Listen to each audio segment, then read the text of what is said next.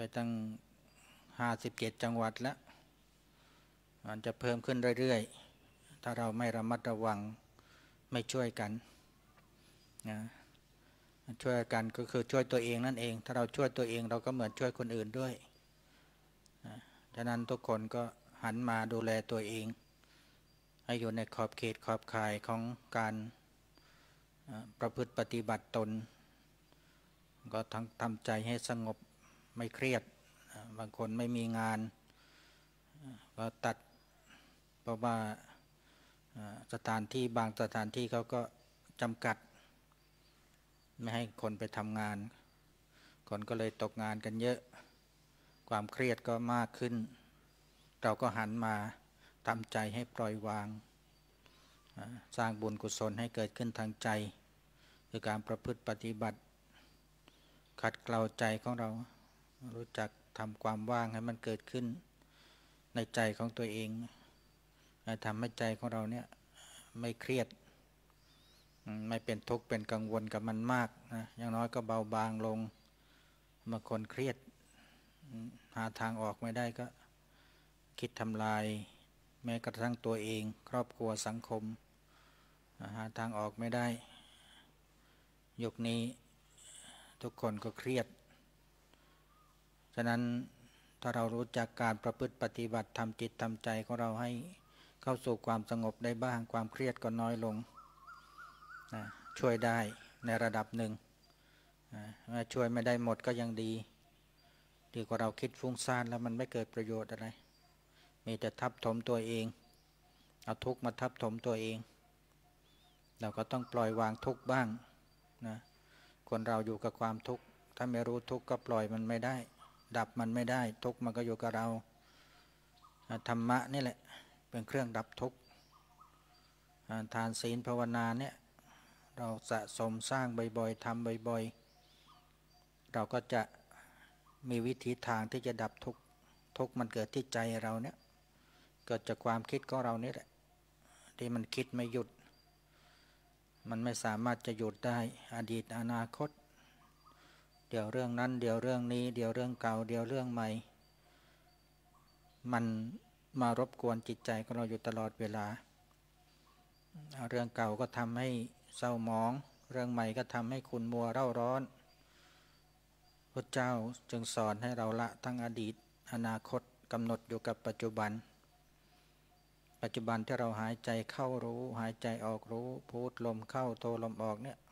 เรามาดูลมหายใจของเราดูให้มันสงบเอาจิตก็เรามาจดจ่ออยู่กับลม ลมเข้าอย่างไรหยาบละเอียดสั้นยาวเบาสบายกำหนดรู้ตรงนี้ หายใจเข้าก็นึกพูด หายใจออกก็นึกโทรลองดูสิหลับตาถ้าลืมตาแล้วพอตาเห็นรูปจิตมันก็ปรุงแต่งเราก็หลับตา ฝึกหลับตาก่อน พอหลับตาสงบค่อยลืมตามา ค่อยๆลืมตาให้มันสงบ นะฝึกทั้งหลับตาลืมตา ฝึกทั้งนั่ง ทั้งเดิน ทั้งยืน ทั้งนอน ทั้งกิน ทั้งทำงานนี่ยอริบทใด สภาวะใดเราก็สามารถสงบได้ อันนี้เรียกต้องฝึกทุกขั้นตอน บางคนฝึกเวลานั่งอย่างเดียว เวลาหลับตาเดียวลืมตาแล้วไม่สงบ มันก็ยังใช้ไม่ได้ เพราะเราต้องลืมตาไม่ใช่หลับตาตลอด ดังนั้นเราต้องทั้งหลับตาลืมตาก็ใจก็ต้องสงบ เราจะทำอะไรก็ต้องสงบนั่งก็สงบเดินก็สงบนอนก็สงบกินก็สงบทำงานก็สงบ เราต้องฝึกถึงขั้นนั้นฉะนั้นทุกสิ่งทุกอย่างอาศัยการฝึกฝนอบรม ถ้าเราไม่ฝึกมันก็ไม่เกิด ไม่เกิดสติ ไม่เกิดสมาธิ ไม่เกิดปัญญา ไม่เห็น ความคิดตัวเองก็ดับความคิดไม่ได้ละความคิดไม่ได้ มันก็คิดอยู่อย่างเงี้ยนอนก็คิดนั่งก็คิดเดินก็คิด แต่ถ้าเรามีพุทโธพุทโธอยู่อยู่กับพระพุทธเจ้าผู้รู้ผู้ตื่นผู้เบิกบาน หายใจเข้าก็มีพระพุทธเจ้า หายใจออกก็มีพระพุทธเจ้าอยู่ในใจของเรา ใจของเราก็เบิกบานผ่องใสทำให้มันผ่องใสเบิกบานบ้างย้ายมันเศร้าหมองขุนบัวเพราะอดีตอนาคต เราตัดมันออกไป วางมันไว้ ไม่เอามันเข้ามาเกี่ยวข้อง รู้อยู่กับปัจจุบัน ฝึกอย่างนี้บ่อยๆและใจของเราก็จะอยู่กับปัจจุบัน อดีตอนาคตก็ค่อยๆเบาบางไปในที่สุดมันก็จางหายไป เรามีตัวรู้คือสติ มีสมาธิใจที่ตั้งมั่นแน่วแน่ ไม่วอกแวกวุ่นวายแสสายโยกโครง จิตของเรามั่นคงตาเห็นรูปก็เฉย หูได้ยินเสียงก็เฉย เราฝึกความเฉยไว้ เราเข้าสู่ความเฉยความว่าง อันนี้ต้องฝึกไว้ให้ได้ เพราะเราอยู่กับทางโลกเนี่ยมันกระทบทุกอย่าง ตาก็ต้องกระทบรูป ต้องมอง ต้องเห็น ถ้าเรารู้ทันใจตัวเองมันก็ไม่ปรุงแต่ง ระงับรับระงับยับยั้งไว้ได้ แต่ถ้าเราไม่รู้ทันมันมันก็ปรุงแต่ง มีรักมีชังมีดีไม่ดี แล้วก็เกิดความทุกข์ที่ตามมาจากการปรุงแต่งคิดนึก เมื่อตาเห็นรูปหูได้ยินเสียง จมูกได้กลิ่นลิ้นกระทบรสกายสัมผัสเย็นร้อนอ่อนแข็งใจก็ปรุงแต่งเป็นธรรมอารมณ์นั้นถ้าเป็นอย่างนี้แล้วเราก็ ไม่สามารถที่จะแก้ความทุกข์ของตัวเองได้ นอกจากว่าเราจะมีสติมีสมาธิที่มั่นคง แล้วก็ฝึกพัฒนาไปสู่ปัญญาความรู้ความเข้าใจตามความเป็นจริงว่ารูปก็ไม่เที่ยงเสียงก็ไม่เที่ยง มันเป็นทุกข์เป็นอนัตตา ไม่ใช่ตัวไม่ใช่ตน เป็นศูนย์โยว่างเปล่าจากความหมายแห่งความเป็นตัวตน ทุกสิ่งทุกอย่างเกิดขึ้นตั้งอยู่ดับไปไม่มีอะไร มีเกิดกับดับ รูปเกิดขึ้นตั้งอยู่แล้วก็ดับไป เสียงตั้งอยู่เกิดขึ้นตั้งอยู่แล้วก็ดับไป กลิ่นรสสัมผัสเหมือนกัน ความคิดก็เหมือนกัน เกิดขึ้นตั้งอยู่แล้วก็ดับไป เมื่อเป็นอย่างนี้อย่าเราไปยึดอะไรไม่ได้ เราไปสำคัญว่าเป็นของเราไม่ได้รูปก็ไม่ใช่ของเราเสียงก็ไม่ใช่ของเรากลิ่นรสสัมผัส การปรุงแต่งไม่ใช่ของเรา รู้แล้วก็เฉยรู้แล้วก็วางว่าเกิดความว่างความสงบขึ้นมา อันนี้ปัญญามันเกิดพอมันเกิดมันก็ละตัด ก็เกิดความว่างความวุ่นวายก็หายไปหมดไป มันต้องฝึกบ่อยๆทำทุกวันสะสมทุกวันสติสมาธิปัญญา ทานศีลภาวนาเนี่ยก็เรียกว่าเราต้องทำไปพร้อม ๆกัน ขาดอย่างใดอย่างใดก็ไม่สมบูรณ์ฐานไม่สมบูรณ์ ศีลไม่สมบูรณ์ สมาธิไม่สมบูรณ์มันก็ไม่สามารถจะดับทุกข์ได้ มันเรามีสติแต่ไม่มีสมาธิไม่มีปัญญามันก็ดับทุกข์ไม่ได้ สติมันต้องสมบูรณ์ สมาธิต้องสมบูรณ์ปัญญาต้องสมบูรณ์ จึงจะดับทุกข์นั้นได้นั้นสิ่งเหล่านี้ก็ต้องอาศัยสร้างธรรมนั้นมันเกิดขึ้น จะจูใช้มันเกิดมันคงไม่เกิด เพราะกิเลสตัณหาอุปาทานที่เรา มันฝังแน่นอยู่ในใจเราเนี่ยมานานหลายภพหลายชาติเนี่ยมันไม่ได้เอาออกง่ายๆ ไม่ใช่ตัดกันง่ายๆมันต้องอาศัยระยะเวลาสติสมาธิปัญญาที่สมบูรณ์ เปลี่ยนรู้เปลี่ยนละ มีสติตัวรู้มีปัญญาตัวละ ถ้าได้อย่างนี้ทุกวันทุกวันเกิดขึ้น เราก็เห็นมันแล้วก็ละมัน ความโลภก็ดี ความโกรธก็ดีความหลงก็ดี เมื่อรู้ทันมันก็ละ ถ้ารู้ไม่ทันก็เป็นความยึดความติด เราก็สำคัญมั่นหมายอยู่อย่างเนี้ยมันก็ทุกมันก็เกิดขึ้นอยู่เรื่อย นั่งก็เป็นทุกข์คิดอยู่เรื่อย คิดไม่หยุด แต่ถ้าเรามีสมาธิมันก็หยุดคิด อยู่กับความว่างอยู่กับความสงบ อยู่กับพุทโธ พุทโธอย่างน้อยก็มีพุทโธไว้ในใจ ถึงแม้มันจะไม่ยังไม่ว่างไม่สงบดิ่งก็ไปสู่อัปปนาสมาธิ ความว่างที่แท้จริง แต่มันก็ยังมีพุทโธกำกับไว้ในใจของตัวเอง มีสติตัวรู้อยู่คิดอะไรก็รู้ ยังรู้ทันความคิดตัวเอง อันนี้ก็ถือว่าเป็นพื้นฐานที่เราต้องฝึกทุกวัน ถ้าเราไม่ทำมันก็ไม่มีสติมันก็ไม่มี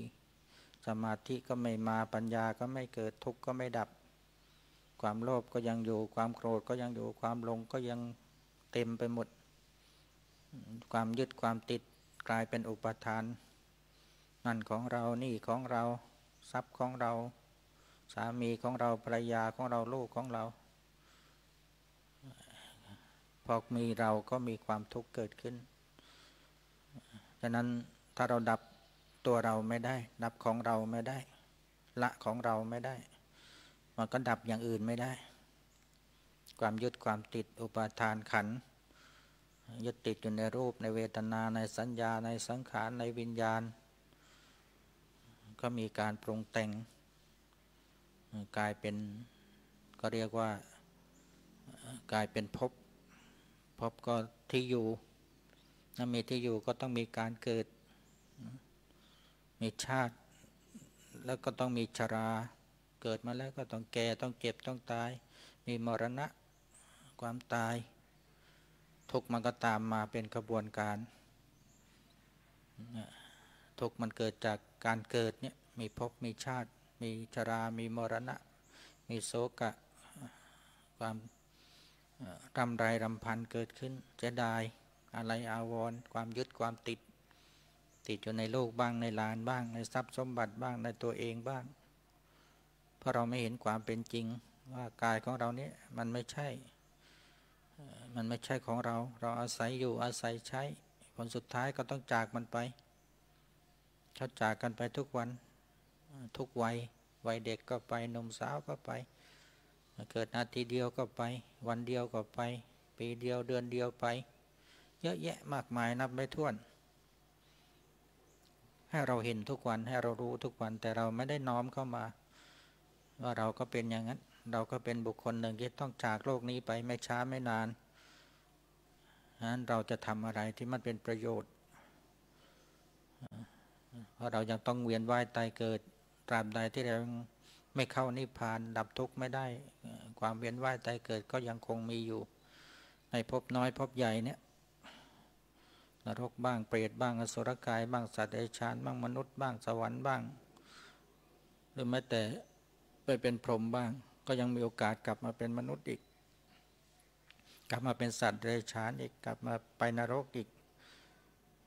ก็หมุนวนอย่างเงี้ยหมดบุญเมื่อไรก็กลับมานู่นแหละเข้านิพพานเมื่อไรแหละมันดับได้หมด นิพพานดับความเกิด ดับความแก่ ดับความเจ็บ ดับความตาย ดับภพดับชาติไม่มีชาติ การเกิดไม่มี ไม่มีการเกิดก็ไม่ต้องมีแก่ ไม่ต้องมีเจ็บ ไม่ต้องมีตาย ไม่ต้องมีจากกัน ไม่ต้องร้องไห้เสียใจคร่ำควรคนนู้นจากไปคนนี้จากไป สิ่งนั้นหายไปสิ่งนี้หมดไปนั้นสิ่งเหล่านี้ก็อาศัยสติปัญญาที่เราต้องสร้างสม เพิ่มขึ้นทุกวันทุกวันเนี่ย คนไหนที่สามารถสะสมทานศีลภาวนาทุกวันทุกวันทำให้เรามีสติมากขึ้น มีสมาธิมากขึ้น มีปัญญามากขึ้น ความรู้ความเข้าใจก็เพิ่มขึ้น รู้ที่ตัวเองเนี่ยไม่ต้องไปรู้ที่ใครรู้ข้างนอกมันดับทุกข์ไม่ได้ ทุกข์มันอยู่ข้างใน ทุกข์ไม่ได้อยู่ข้างนอกข้างนอกเป็นองค์ประกอบเฉยๆ ทุกข์ที่แท้จริงมันอยู่ในใจเราเนี่ย ใจที่มันมีความโลภเนี่ยมันทำให้เกิดความทุกข์ดิ้นรนขวนขวายแสวงหาได้มาก็เป็นทุกข์ไม่ได้ก็เป็นทุกข์มีความโกรธไม่พอใจคนนี้ไม่ถูกใจคนนั้นนั่งก็ทุกข์เดินก็ทุกข์นอนก็ทุกข์กินก็ทุกข์เกิดจากความโกรธ ที่มันเผาไหม้ใจเราอยู่ตลอดเวลาเนี่ยเราไม่รู้ หาทางดับไม่ได้ ถ้าเรารู้ทันมันก็หาทางระงับยับยั้งไว้ ถึงแม้จะดับไม่ได้ก็ยังระงับไว้ ไม่ให้มันลุกลาม ก็เรียกว่าควบคุมเชื้อมันไว้ได้ ถึงแม้มันยังดับเชื้อไม่ได้ ก็ยังควบคุมมันไว้ ไม่ให้มันลุกโชนขึ้นมาเผาไหม้ใจตัวเอง อันนี้ก็ยังดีดีที่เราได้รู้ ถ้าเราไม่รู้มันก็เผาตัวเอง ไม่อยู่ตลอดเวลา นั่งก็ร้อน เดินก็ร้อน กินก็ร้อน มาร้อนใจ พอร้อนใจแล้วมันนั่งไม่เป็นสุข เดินไม่เป็นสุขกินไม่เป็นสุขทำอะไรก็ไม่มีความสุขเพราะความโลภความโกรธมันเผาไหม้ใจตัวเองอยู่ตลอด มันมีความอยาก อยากจะทำอย่างนั้น อยากจะเป็นอย่างนี้ อยากจะมีอย่างนั้น ความอยากมันก็ดิ้นรนอยู่ตลอดเวลาให้เกิดความโลภให้เกิดความโกรธ ราะเราตกอยู่ใต้อำนาจของความหลงความไม่รู้โมหะอวิชชา หุ้มห่อใจของเราอยู่ มันเอาออกยาก มันรู้ยาก มันต้องอาศัยความเพียรอาศัยขันติมีความอดกลั้นอดทน มันอยากก็ไม่ทำตามมัน รู้แล้วก็เฉย รู้แล้วก็ทำใจให้เป็นกลาง ฝึกบ่อยๆทำบ่อยๆรู้บ่อยๆ เราก็สามารถที่จะยับยั้งความอยากของตัวเองได้ในระดับหนึ่ง เมื่อเรารู้มากขึ้นมีสติมีสมาธิมีปัญญาเพิ่มพูนขึ้นก็สามารถขจัดความโลภความโกรธความหลงในใจของตัวเองให้เบาบางจนหมดไปสิ้นไปตามลำดับ ถึงขั้นที่สามารถทำลายมันโดยสิ้นเชิง เรียกว่าทำกิเลสให้หมดไป เหมือนที่พระพุทธองค์ทรง ตรัสไว้ แล้วก็สอนสาวกหรือสอนพุทธบริษัทให้ประพฤติปฏิบัติ เพื่อกำจัดความโลภความโกรธความหลงกิเลสตัณหาอุปาทานที่มันพัวพันเหนียวแน่นอยู่ในจิตใจของเราเนี่ยให้มันจางไปหายไปหมดไปสิ้นไป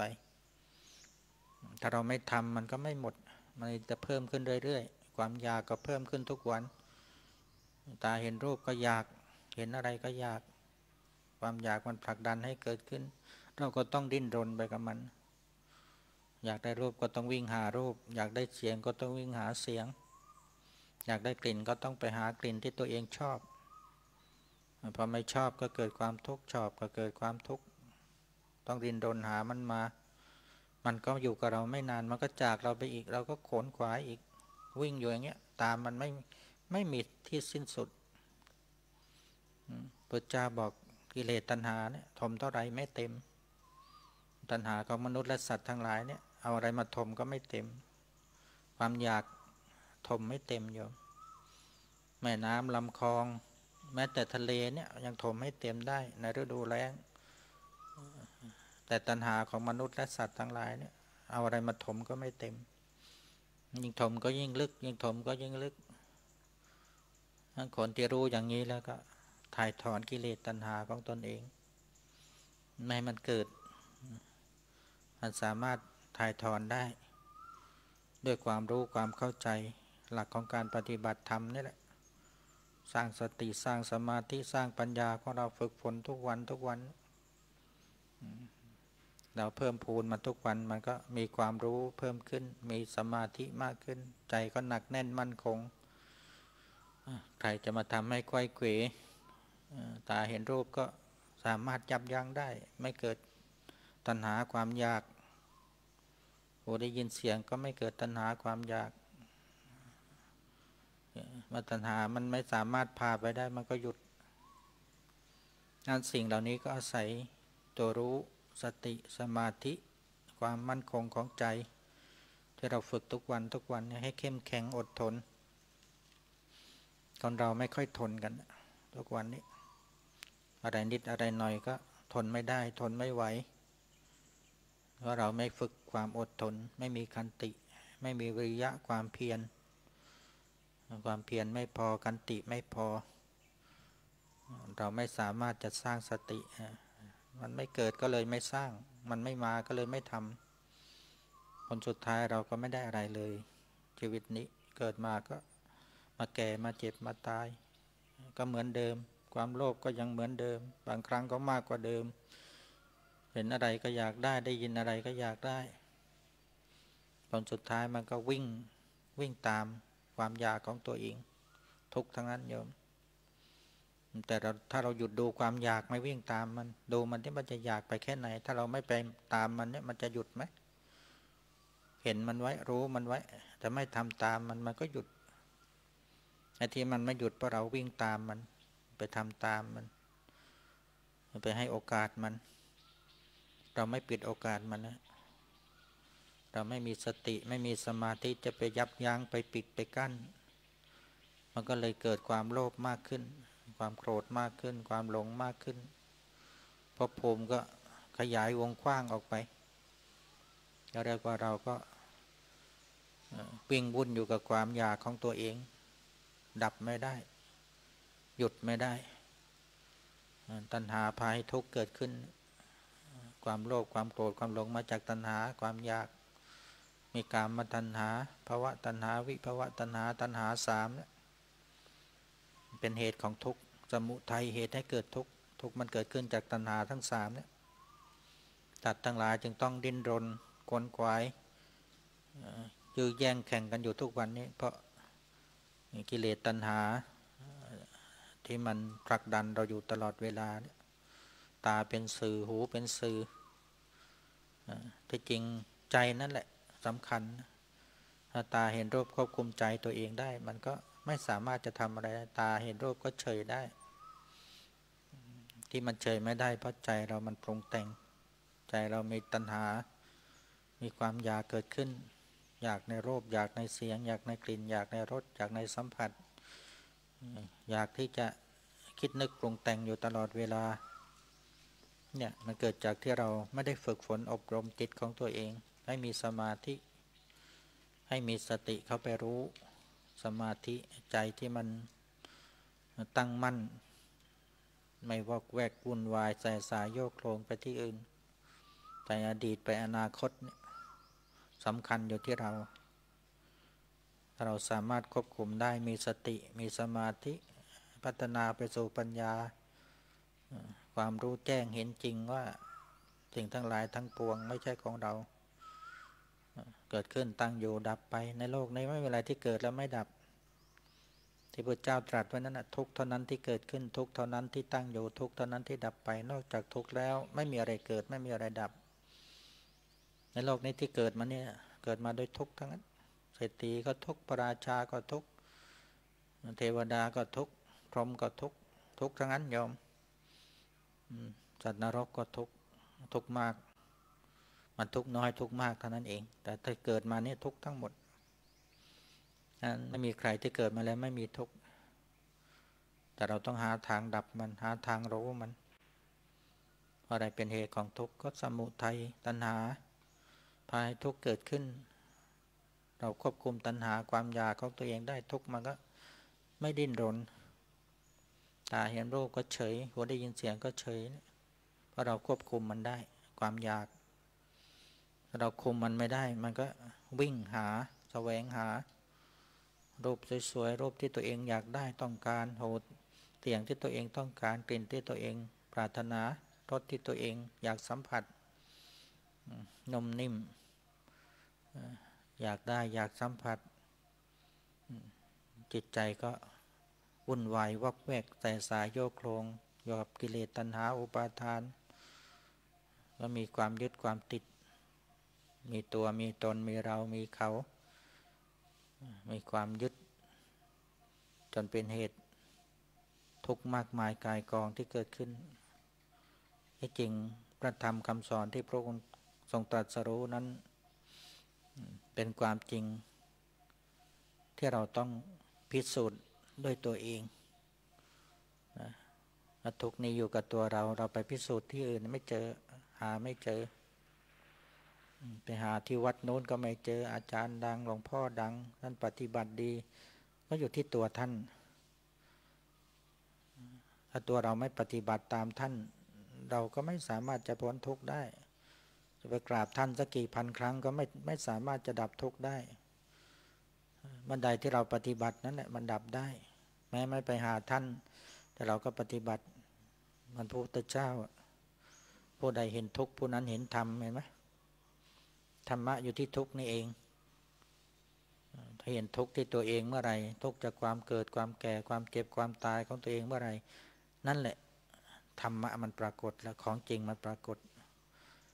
ผู้ใดเห็นทุกผู้นั้นเห็นธรรม ผู้ใดเห็นธรรมผู้นั้นเห็นตถาคตเห็นไหมพระเจ้ามันอยู่ที่รูปร่าง มันอยู่ที่การประพฤติปฏิบัติเข้าถึงพระเจ้า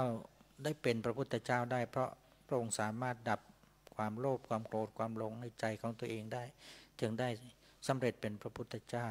ตรัสรู้เราก็เหมือนกันจะเข้าเฝ้าพระพุทธเจ้าเราก็ สามารถดับกิเลสตัณหาอุปาทานได้เมื่อไหร่ก็ได้เข้าเฝ้าพระองค์มันนะพระองค์อยู่ในใจของเรามันปรากฏขึ้นแก่เราตอนนั้น ตอนที่เราดับความโลภความโกรธความหลงได้พระเจ้าจะอยู่ในใจของเราไม่ได้อยู่ที่รูปร่างหน้าตาลักษณะ อยู่ที่การดับกิเลสตัณหาอุปาทานโดยสิ้นเชิง ดวงจึงตัดไว้นะผู้ใดเห็นทุกข์ผู้นั้นเห็นธรรมผู้ใดเห็นธรรมผู้นั้นเชื่อว่าเห็นตถาคตเนี่ย ถ้าเราอยากเห็นพระพุทธองค์ว่าพระพุทธเจ้ารูปร่างหน้าตาเป็นยังไง เราก็ดับความโลภความโกรธความหลงให้ได้นั่นแหละ เราจะได้เข้าพระพุทธเจ้า เข้าไปเฝ้าพระองค์โดยตรง ได้เห็นรูปร่างลักษณะของพระพุทธเจ้าว่าที่พระเจ้าดับกิเลสตัณหาได้นั้นดับได้อย่างไร ได้เป็นพระพุทธเจ้าได้อย่างไรไม่ใช่ที่รูปร่างหน้าตาเหมือนที่เราไปกราบครูบาอาจารย์นั่นแหละ เราอยากจะขอพรจากท่านปีใหม่ หรือปีไหนๆพอไปเข้าไปหาท่านก็แหมจะเป็นสิริมงคลเป็นความโชคดี นั่นเป็นความคิดของเรา แต่ถ้าเราไม่ทำดี ไม่คิดดีไม่พูดดี ไม่ปฏิบัติดี มันก็ไม่มีพร พรของพระพุทธเจ้าก็ไม่เกิดขึ้น พระเจ้าสอนให้ทำดีละชั่วทำจิตให้ผ่องใสนั่นแหละเป็นมงคลเป็นพรที่ประเสริฐที่สุดปรับชีวิตของเรา สามารถกำจัดความโลภความโกรธความหลงได้เมื่อไหร่นั่นแหละเป็นพรที่ดีที่สุดประเสริฐที่สุดที่เราได้เกิดมาเป็นมนุษย์ ได้พบพุทธศาสนา มีคำสอนของสมเด็จพระสัมมาสัมพุทธเจ้า ถ้าเราได้ประพฤติปฏิบัติ เราไม่เสียชาติเกิด แต่ถ้าเราไม่ปฏิบัติ ไม่สนใจ ไม่ใส่ใจ ทุกนี้ก็อยู่กับเรา ไม่สามารถดับไปได้ ใครก็ช่วยเราไม่ได้ ช่วยเราพ้นนรกก็ไม่ได้ ช่วยเราไปสวรรค์ก็ไม่ได้ ช่วยเราเป็นมนุษย์ก็ไม่ได้ เราต้องช่วยตัวเราเองพุทธองค์เป็นเพียงผู้ชี้แนะ เป็นผู้บอกทางคำสอนของพระเจ้าที่ปรงตัดไว้บอกว่าเหมือนบุคคลที่บอกทางแก่ผู้หลงทางงายของที่คว่ำเปิดของที่ปิดส่องแสงสว่างในที่มืด นั่นคือคำสอนของพุทธเจ้าถ้าเราอยากจะเป็นอย่างนั้น อยากจะมีแสงสว่าง อยากจะเห็นของจริงก็ต้องปฏิบัติ เราจะได้กระจ่างแจ้งไอ้ที่มืดที่เรามองไม่เห็นพอเรามีธรรมะแล้วมันมองเห็น มันส่องไป แสงธรรมมันส่องใจ ใจมันสว่างสวัยมันเห็นหมด แต่ถ้าเราไม่ เปิดทางให้ตัวเอง ไม่มีธรรมะ ไม่มีแสงสว่างสติสมาธิปัญญาเรายังไม่เกิด มันก็ยังมองไม่เห็นทาง ทางดับทุกข์เราจะไปทางไหนได้สัมมาทิฏฐิมันไม่เกิด มันไม่สามารถไปสู่สัมมาสมาธิได้ ฉะนั้นก็ต้องอาศัยความเพียรเพียรสร้างเพียรทำมันยังไม่เกิดไม่เป็นไรทำมันต่อไปสร้างมันต่อไป วันนี้มันยังไม่ไม่รู้ไม่เห็นไม่เป็นไร แต่เราทำทุกวันไม่ท้อแท้ มีกันติ มีวิริยะความเพียร เพียรสร้างเพียรทำมันสติ มันขาดบ้างเผลอบ้างเราถือว่าเป็นเรื่องธรรมดาของปุถุชน ที่ยังมีกิเลสนานแน่นอยู่ มันต้องต้องค่อย ๆทำไป สะสมไปมันสะสมมากขึ้นมากขึ้นมันก็ สิ่งไม่ดีมันก็ค่อย ๆ หมดไปเบาบางไป ความโลภก็เบาบาง ไปความโกรธก็เบาบางไปเพราะเรารู้ทัน เห็นหน้าตาของมันความโลภเป็นอย่างไร ความโกรธเป็นอย่างไร ความไม่รู้เป็นอย่างไรมันมีตัวรู้เข้าไปดูเข้าไปเห็นบ่อยๆตัวไม่รู้ก็หมดไปน่าใส่การสร้างการทำดังนั้นแหละมันเราเรียนหนังสือนะอุปมาให้เห็นบ่อยๆว่า มันไม่ได้เรียนแค่วันเดียวสำเร็จอ่านออกเขียนได้ เรียนหลายปีกว่าจะอ่านออกเขียนได้เนี่ยหลายวันหลายเดือนหลายปีกว่าจะพูดคล่องท่องจำอ่านเขียนได้ เหมือนกัน เรามาเรียนธรรมะก็เหมือนกัน มาศึกษาธรรมะก็เหมือนกันทำแป๊บเดียวสำเร็จคนที่ทำสำเร็จนั้นต้องมีบารมีที่สะสมมายาวนาน เหมือนพระพุทธเจ้าเหมือนพระ อริยสาวกทั้งหลาย ได้ฟังธรรมเพียงประโยคสั้น ๆ ก็สามารถเข้าใจได้นั่น ถือว่าสติปัญญาที่สร้างสมมา มันเต็มและมันบริบูรณ์ พร้อมที่จะเหมือนดอกบัวพร้อมที่จะบาน เมื่อเจอแสงอาทิตย์มันบานทันที มันเป็นลำดับที่หนึ่งต้นๆ แต่ยุคนี้สมัยนี้มันหายาก ต้องอาศัยความเพียร อาศัยขันติ ความจริงจังจริงใจทำด้วยศรัทธายิ่งทำยิ่งมีปัญญาศรัทธาเพิ่มขึ้นศรัทธาในการให้ทานศรัทธาในการรักษาศีลศรัทธาในการประพฤติปฏิบัติสวดมนต์ภาวนาทำทุกวันไม่ขาด ไม่ใช่นานๆทำครั้ง วันพระจึงจะทำครั้งหนึ่งวันหยุดจึงจะทำครั้งหนึ่งไม่ใช่ มันต้องทำทุกวัน มันต้องเพิ่มพูน ให้มันต่อเนื่องจนสติของเราสมบูรณ์สมาธิของเราสมบูรณ์ปัญญาของเราสมบูรณ์นั่นแหละ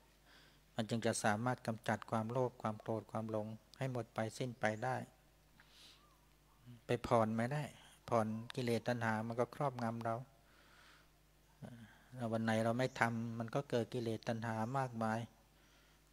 ทำให้เราทุกข์วุ่นวายอยู่เนี่ยหาความสุขหาความสงบไม่ได้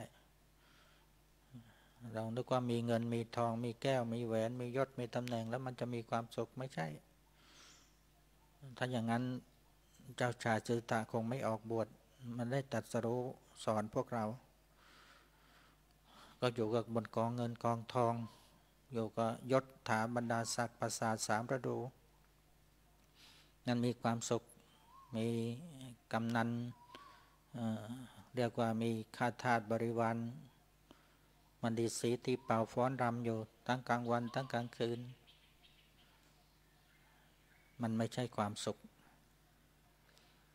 ตรงกับจีเห็นว่านั่นไม่ใช่ความสุข เราก็ไปหลงติดอยู่กับสิ่งเหล่านั้น แก้วแหวนเงินทองทรัพย์สมบัตินึกว่าจะบันดาลความสุขให้ไม่ใช่ สุขนั้นไม่ใช่สุขที่แท้จริงเป็นสุขชั่วครั้งชั่วคราว อาศัยอยู่อาศัยใช้ เดี๋ยวก็จากไป ที่จริงความทุกข์มันมีอยู่ทุกขณะนะพูดบ่อยๆ ที่พระเจ้าตรัสว่าทุกข์จากสภาพขันห้าเราเนี้ยรูปนั่งก็ทุกเดินก็ทุกนอนก็ทุกหิวก็ทุกปวดก็ทุกเจ็บก็ทุกแก่ก็ทุกตายก็ทุกทุกมันอยู่มีตลอดเวลา เศรษฐีก็ทุกปราชาก็ทุกใครก็ทุกหมด หญิงก็ทุกชายก็ทุกเด็กก็ทุกนั่งอะไรก็ทุกมานั้น เดินเมื่อใดก็ทุกมานั้น ทำอะไรไม่ได้ทำนานไม่ได้ เกินห้านาทีสิบนาทีทุกมันเกิด แต่เราไม่เห็นเอง เราไม่ได้พิจารณาเองนึกว่าไม่มีทุกถามว่าเศรษฐีทุกไหมทุกนั่งทุกทำไมต้องขยับเศรษฐีทำไมต้องกินต้องดื่ม ต้องขับต้องทาย ต้องมาหาโยกหายาหาหมอหาเครื่องบำรุงอยู่ตลอดเวลาเพราะทุกไงร่างกายมันเป็นทุกข์มันมีความเสื่อม ผมก็เสื่อมแขนก็เสื่อมขาก็เสื่อมฟันก็เสื่อมหนังก็เสื่อม เสื่อมหมดร่างกายนี่อาการสามสิบสองเสื่อมหมดทุกอย่าง เสื่อมจนทนไม่ได้จนต้องแตกสลายไปกลายเป็นธาตุดินน้ำลมไฟไปในที่สุดนั่นแหละที่สุดแล้วไม่เป็นอะไรเป็นธาตุเป็นธรรมชาติ ธรรมชาติของมนุษย์และสัตว์ทั้งหลายสรรพสัตว์สรรพสิ่งทั้งหลายในโลกเหมือนกันหมดกลายเป็นธาตุหมด ดินน้ำลมไฟเหมือนกันหมดแต่ทีก็ไม่ต่างกับคนยากจนพระราชาก็ไม่ต่างกับยาจกเข็นใจ มีสภาพมันเดียวกัน คือธาตุดินธาตุน้ำธาตุไฟธาตุลมทั้งนั้นแหละ เราพิจารณาให้เกิดสติเกิดปัญญาเกิดศรัทธาศรัทธาที่ทำความดีศรัทธาที่จะให้ทานศรัทธาที่จะรักษาศีลศรัทธาที่จะสวดมนต์ภาวนา เราต้องเพิ่มให้ตัวเอง ใครก็ทำให้เราไม่ได้ทำแล้วก็ต้องรักษาศรัทธาไว้ด้วยเพื่อทำทุกวันแล้วศรัทธามันก็จะคงที่ ไม่งั้นมันไม่คงที่ไปเห็นอะไรมันก็หมดศรัทธาไหมบางทีเราไปหาครูบาอาจารย์เราคิดว่า โอ้ ตั้งใจว่าครูบาอาจารย์จะต้องนั่งนิ่งๆนั่งเฉยๆพูดจาต้องไพเราะ พอไปเจอแล้วไม่เหมือนที่เราหวังศรัทธามันหมดไอ้จริงท่านไม่ได้เป็นอย่างนั้น ใจท่านไม่มีอะไร แต่กิริยาวาจานั้นมันเป็นอย่างนั้นเองเป็นธรรมชาติของท่านเอง แต่จิตใจท่านดีงาม ท่านมีเมตตาท่านมีสมาธิมีปัญญา มันต่างกับการกระทำจริงมันไม่ใช่ แต่เราไม่เห็นไงเราเห็นแต่ภายนอก เราก็เลยเอามาเป็นประมาณว่า ท่านไม่น่าศรัทธา ท่านไม่น่าเคารพ ท่านไม่น่าที่จะทำให้คนอื่นเลื่อมใสได้ นี่พอเราคิดไปเอง เราตั้งต้นไว้เองว่าศรัทธาของเราเนี่ยต้องเป็นแบบนั้นแบบนี้ไม่ใช่ เรายังไม่มีปัญญาพร้อม เมื่อไรที่เรามีปัญญาแล้วนั่นแหละเราจะเห็นว่าไอ้นั่นไม่ไม่ใช่ของจริงของจริงมันอยู่ภายใน ต้องไปสัมผัสภายในใจของท่าน ท่านมีเมตตาไหมท่านละความโลภความโกรธได้บ้างไหมละได้มากแค่ไหน อันนั้นตั้งหากนั้นคนเราก็มองกันแต่ผิวเผิน มองกันที่ภายนอก ไม่ได้มองที่ภายใน ก็เลยบางครั้งก็ศรัทธาเราก็เลย ไม่สามารถจะรักษาไว้ได้ ไปเห็นไปรู้ไปได้ยินได้ฟังก็ ท่านพูดไม่ไพเราะเลยไม่น่าศรัทธา ท่านเดินไม่ระมัดระวังเลยไม่สำรวมเลยไม่ศรัทธา นั่นน่ะเป็นตั้งเป้า ว่าคนที่เป็นพระอรหันต์คนที่ปฏิบัติแล้วต้องไม่มีคำหยาบต้องไม่เดินไม่สำรวมต้องไม่อย่างนั้นอย่างนี้มันเป็นความคิดของเราที่ยังมีกิเลสตัณหาอยู่แล้วคนที่หมดกิเลสตัณหาเราเขาไม่ได้ดูตรงนั้นเขาดูที่จิตใจ นะก็ดูลึกลงไป ดูกันนานๆ ไม่ใช่ดูกันผิวเผินเห็นครั้งเดียวแล้วก็หมด ไม่ใช่นั่นสิ่งเหล่านี้ต้องอาศัยการฝึกฝนอบรมเหมือนกันนะมันครั้งหนึ่งครั้งพุทธกาลเนี่ยที่ภาษาริบุตรเดินไปบิณฑบาตแล้วมีโยมผู้หญิงคนหนึ่งศรัทธาเขาลือว่าภาษาริบุตรเนี่ย เป็นพระอรหันต์แล้ว เป็นอัครสาวกเบื้องขวาของพระผู้มีพระภาคเจ้าพอรู้ว่าภาษาริบุตรมาบิณฑบาตก็เตรียมไตรจีวรไว้สามผืนมีจีวรมีสังกติมีสบง พอพระสารีบุตรมาเดินมาเบียนทบาทก็ใส่บาทแล้วก็ทำท่าว่าเดี๋ยวจะตามไปถวาย ถือผ้าไตรไป จะไปถวายพระสารีบุตรเดินไปก็เจอร่องน้ำท่านก็กระโดดข้ามร่องน้ำพอกระโดดข้ามร่องน้ำยายก็นึกว่า ไม่ใช่แล้วเนี่ยไม่ใช่พระอรหันต์ละพระอรหันต์ไม่ไม่โดด ไม่กระโดดข้ามท้องร่องแม่ถวายแล้วสามผืนละเหลือสองผืนล้วศรัทธาตก เดินไปอีกแป๊บหนึ่งก็ไปเจอร่องน้ำในสวนาษาไรบุตรก็กระโดดข้ามไปอีกร่องน้ำไม่มันไม่กว้างมาก ใครกระโดดข้ามได้ ยายก็บอกอย่างนี้ไม่ไม่ใช่แน่นอน เหลือผืนเดียวแล้วแต่ถวายจีวรสังกติไม่ถวายแล้วถวายแค่สบงผืนเดียวก็พอ ถ้าไปเจอร่องน้ำที่สามนี่สัตย์บุตรก็ไม่กระโดดละเดินโดยร่องน้ำไปยายก็ถามทำไมกระโดดไม่กระโดดอะ พระสารีบุตรบอกกระโดดไม่ได้มาเหลือพื้นเดียวแล้วโยมศรัทธายายนี่กลับมาใหม่เลยโยมพระสารีบุตรรู้ว่าราจิตของยาย ถ้ากระโดดอีกทีเดียวเนี่ยไม่เหลือเลย ไม่เหลือสักผืนเลย มันหมดไปแล้วสองผืน พอหันกลับมาตอบยายงั้นยายก็โอ้ศรัทธาเพิ่มขึ้นเลยตอนนี้ ถวายหมดเลยสามผืนนั่นน่ะ ดูภายนอกไม่ได้โยมต้องดูภายในนั่นคนเราก็เหมือนกันโยม ภายในนี้สำคัญคือใจเนี่ยมันสำคัญมากเราต้องอบรมบ่มให้มันเกิดสติเกิดพละอินทรีย์ แก่กล้า มีวิริยะ มีสติอินทรีย์ก็เรียกว่ามีสติที่ กล้าแข็ง นั่งรู้เดินรู้นอนรู้กินรู้พูดรู้ทำรู้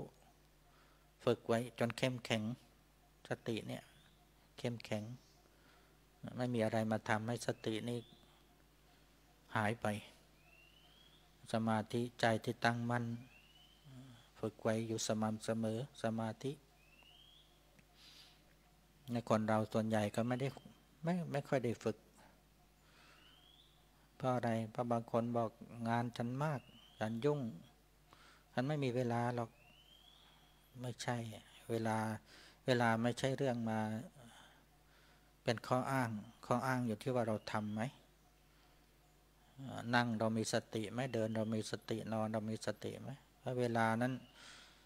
มันไม่สามารถทำให้เราขาดสติได้ ถ้าเราฝึกฝนอบรม มันมีแต่ทำให้เรามีสติมากขึ้น ทุกเวลา นั่งก็มีเวลาเดินก็มีเวลานอนก็มีเวลา เวลาที่จะมีความรู้ กับการนั่งกับการเดินกับการกินการนอนของตัวเองโอปัญิโกน้อมมาดูกายใจเรา ความโลภเกิดขึ้นเห็น ความโกรธเกิดขึ้นเห็น ความไม่รู้ก็พยายามละพยายามวางพยายามปล่อย เอาตัวรู้เข้าไป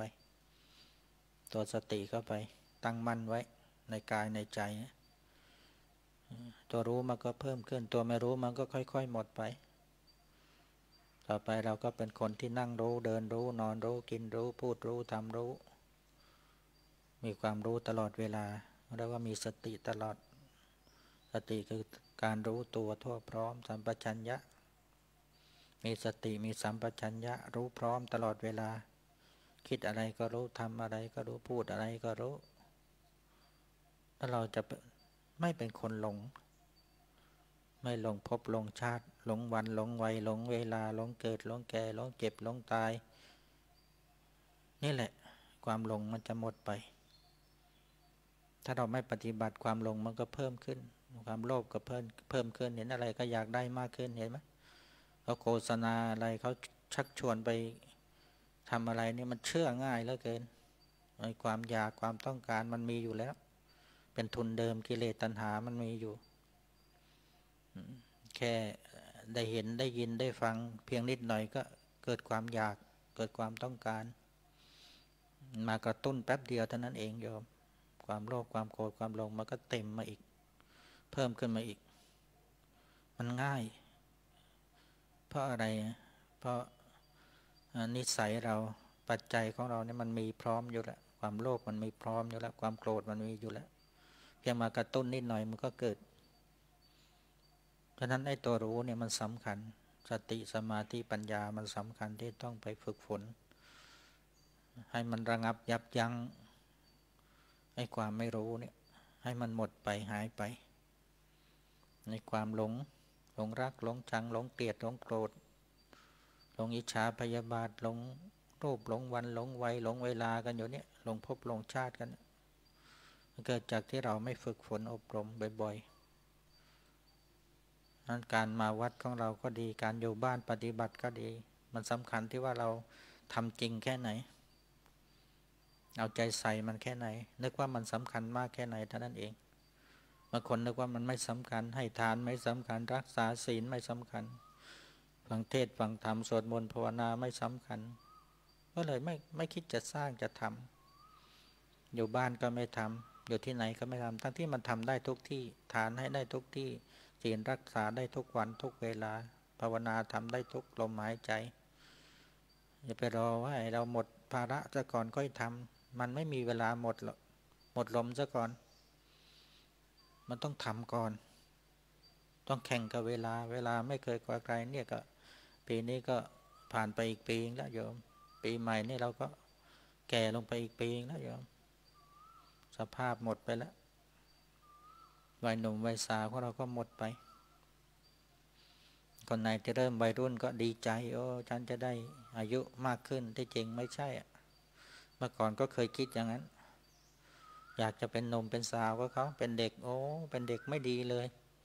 นึกในใจสู้หนุ่มวัยหนุ่มวัยสาวไม่ได้ได้ไปเที่ยว ได้ไปโน่นได้ไปนี่เด็กไม่ให้ไป ถ้าไปก็มีผู้ใหญ่ไปด้วย เรานี่ไม่น่าเป็นเด็กเลย น่าจะเป็นผู้ใหญ่ น่าจะเป็นวัยรุ่นจะได้ไปเที่ยวกับเขาพอเป็นวัยรุ่นนึกจะเป็นผู้ใหญ่อีกแล้วนึกจะเป็นโอ้โหเนี่ย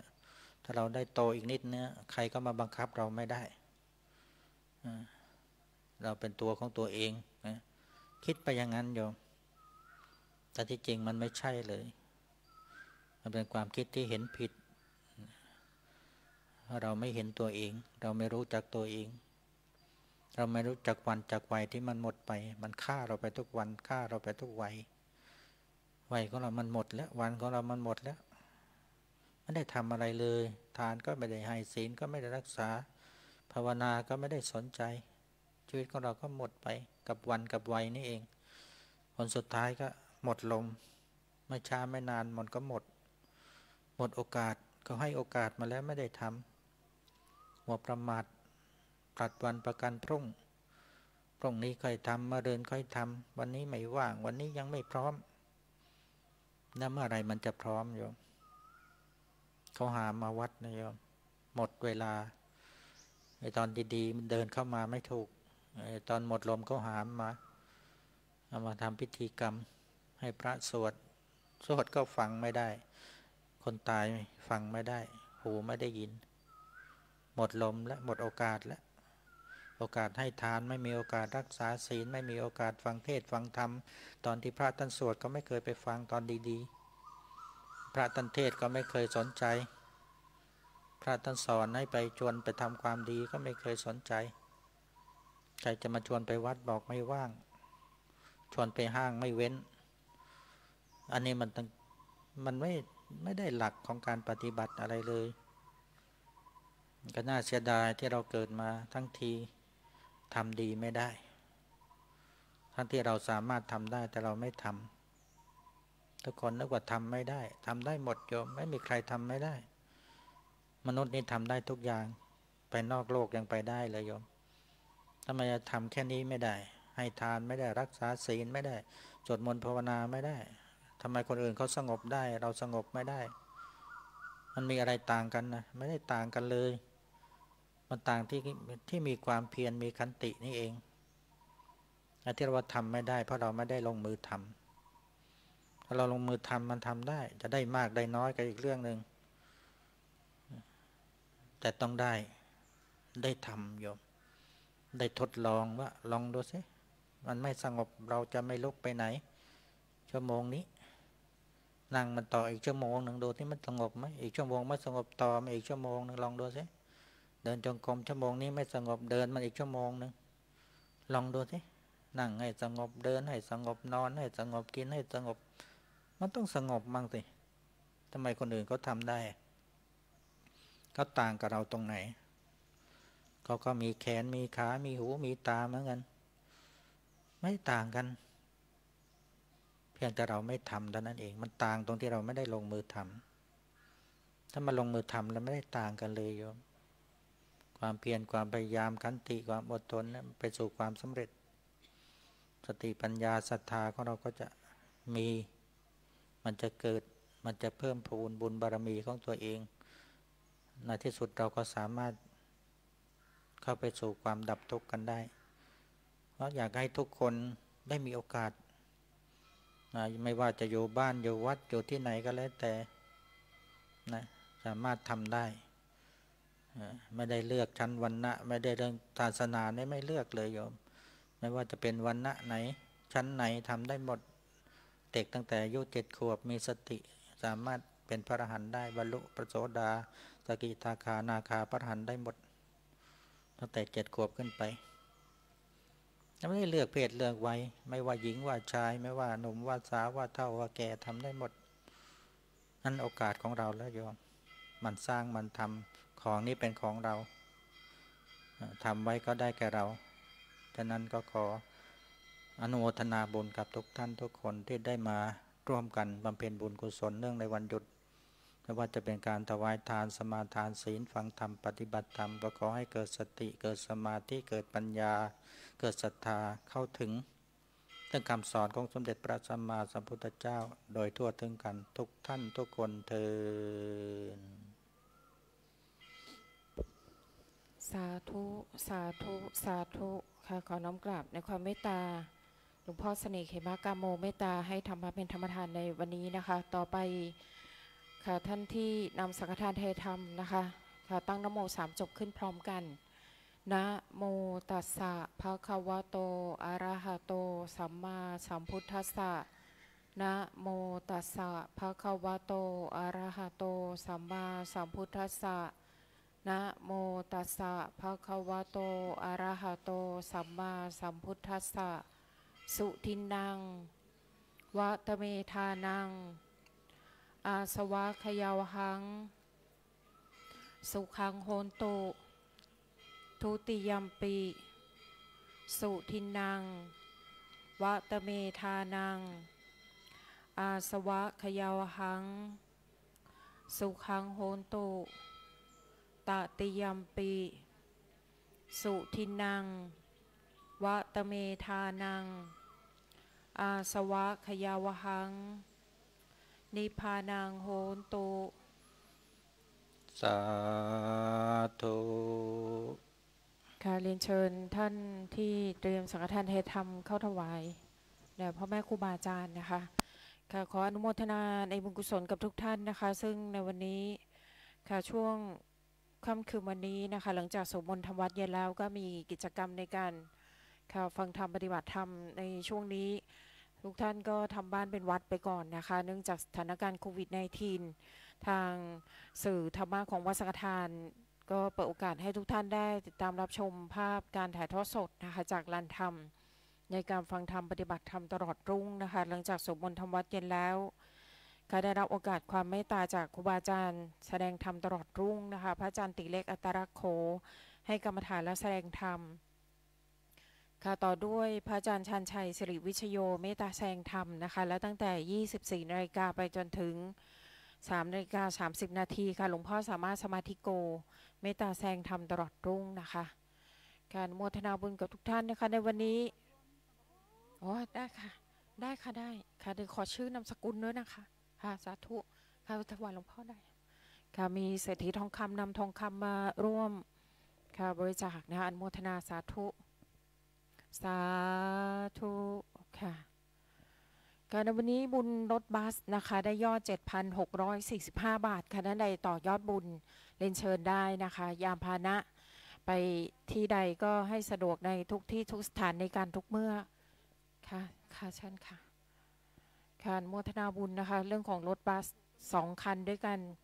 โอเคระบุก็ได้ค่ะ เป็นสร้อยเป็นแหวนเป็นอะไรค่ะ ซึ่งเรื่องของรถบัสนะคะสองบัสด้วยกันท่านใดจะสมทบปัจจัยเรียนเชิญได้นะคะ ต่อยอดบุญมูลค่า 2 ล้านเศษนะคะหลวงพ่อไพลินท่านก็มีเมตตาจัดรถนะคะ เพื่อนำคณะพระพิสุอุบาสุบาสิกาไปสร้างบารมีในกิจกรรมงานบุญต่างๆนะคะ กล่าต่อไปทุกท่านนะคะ เตรียมตัวหลวงพ่อจะบังสกุลแล้วก็กดน้ำรับพรอ๋อค่ะเช่นค่ะ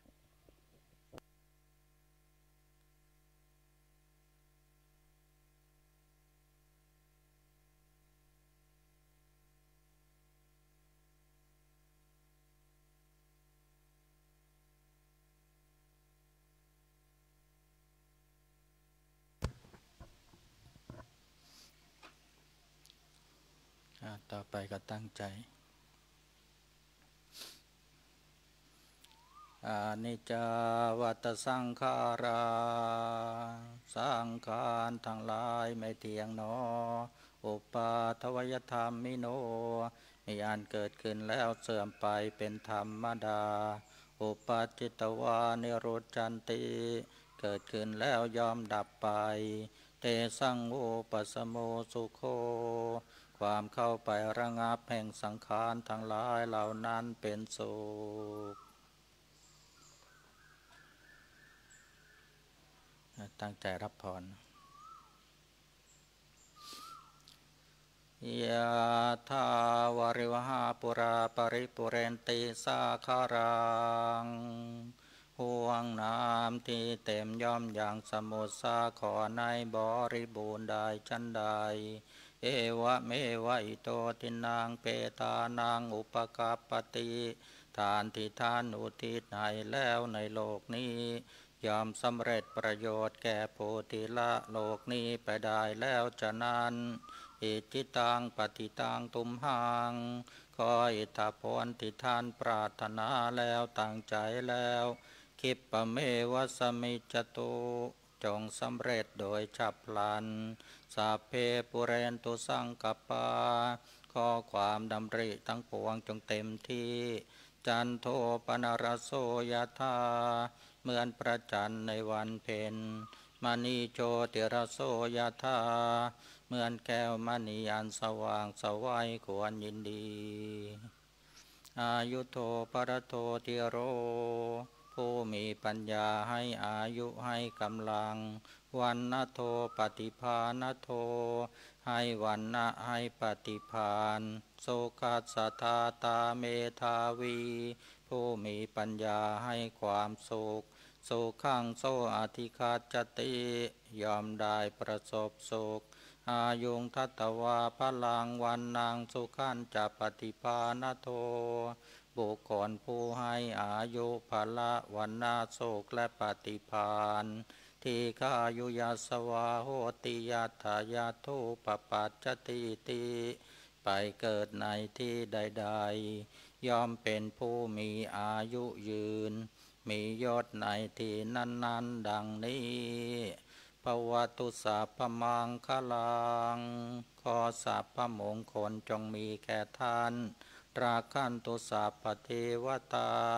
ขอเหล่าเทวดาจงรักษาท่านสัพพุทธานุภาเวนะด้วยอานุภาพแห่งพระพุทธเจ้าสัพธรรมานุภาเวนะด้วยอานุภาพแห่งพระธรรมสัพสังฆานุภาเวนะด้วยอานุภาพแห่งพระสงฆ์สัทธาโสทีพระวันตุเต ขอความสวัสดีทั้งหลาย จงมีแก่ท่านทุกมือ สาธุ ขอเชิญทุกท่านแผ่เมตตาพร้อมกันค่ะ สัพเพสัตตา สัตว์ทั้งหลายที่เป็นเพื่อนทุกเกิดแก่เจ็บตายด้วยกันหมดทั้งสิ้น เราอุทิศบุญกุศลของเราให้หมดด้วยกัน อเวราจงเป็นสุขเป็นสุขเถิด อย่าได้มีเวรแก่กันและกันเลย อโรคาจงเป็นสุขเป็นสุขเถิด อย่าได้มีความเจ็บไข้ลำบากกายลำบากใจเลย อัพยาปัชชาจงเป็นสุขเป็นสุขเถิด อย่าได้พยาบาทเบียดเบียนซึ่งกันและกันเลย อานีคาจงเป็นสุขเป็นสุขเถิด อย่าได้มีความทุกข์กาย ทุกข์ใจเลย สุขีอัตตานังปริหารันตุ จงมีความสุขกาย สุขใจ รักษาตนให้พ้นจากทุกภัยทั้งสิ้นนี้เถิดขอเชิญทุกท่านคุกเข่าเตรียมตัวกลับพระค่ะอรหังสัมมาสัมพุทโธภควา พระผู้มีพระภาคเจ้า เป็นพระอรหันต์ดับเพลิงกิเลสเพลิงทุกสิ้นเชิง ตรัสรู้ชอบได้โดยพระองค์เอง พุทธังพระควันตังอภิวาเทมิ ข้าพระเจ้าอภิวาทพระผู้มีพระภาคเจ้า ผู้รู้ผู้ตื่นผู้เบิกบานกราบ สวาคาโตภาคาวตาธรรมโม พระธรรมเป็นธรรมที่พระผู้มีพระภาคเจ้า ตรัสไว้ดีแล้วธรรมังนัมสสามิ ข้าพระเจ้านมัสการพระธรรมกราบสุปฏิปันโนภาคาวโต สาวกสังโฆ ระสงฆ์สาวกของพระผู้มีพระภาคเจ้า ปฏิบัติดีแล้ว สังฆังนามามิ ข้าพระเจ้านอบน้อมพระสงฆ์กราบมาตาปิตุคูนังอหังวันทามิ ข้าพระเจ้ากราบวันทา บิดามารดาผู้มีพระคุณโดยความเคารพกราบ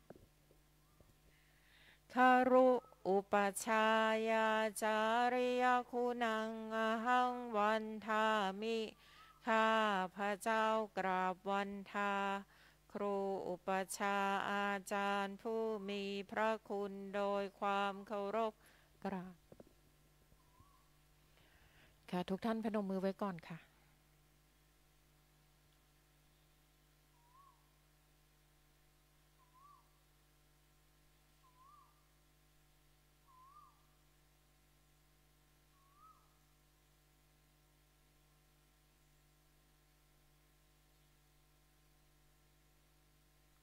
ค่ะขอเชิญทุกท่านกราบพระพร้อมกันอีกสามครั้ง พร้อมแล้วกราบ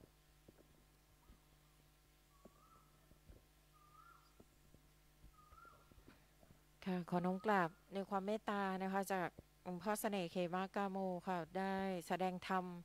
ให้แง่คิดนะคะ เรื่องของการที่เราน้อมนำคำสอนของพ่อแม่ครูบาอาจารย์ไปใช้ในการประพฤติปฏิบัติธรรมเป็นประโยชน์อย่างยิ่งนะคะ